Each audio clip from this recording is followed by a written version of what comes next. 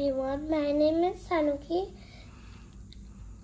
Do you think that the title is suitable for this story? I think the title is suitable for this story because this title is How Kapuruhami Went to Puttalam. And Kapuruhami is going to Puttalam on this cart and you can see the road. The bull the cow is running so he's going fast.